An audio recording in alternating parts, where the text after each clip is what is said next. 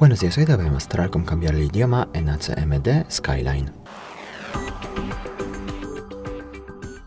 Para eso abrimos la aplicación Ajustes y luego en Ajustes abrimos aquí más abajo la penúltima pestaña de la lista Sistema. Luego aquí pulsamos la primera opción Idiomas y después de eso pulsamos también la primera opción Idiomas del sistema. Y aquí pulsamos Añadir un idioma. Buscamos por ejemplo Inglés está aquí English, luego seleccionamos la región, por ejemplo el Reino Unido, y después de eso hay que mantener presionado el idioma y colocarlo como primero en la lista de esta manera y pulsar a la derecha cambiar. Así cambiamos el idioma del sistema.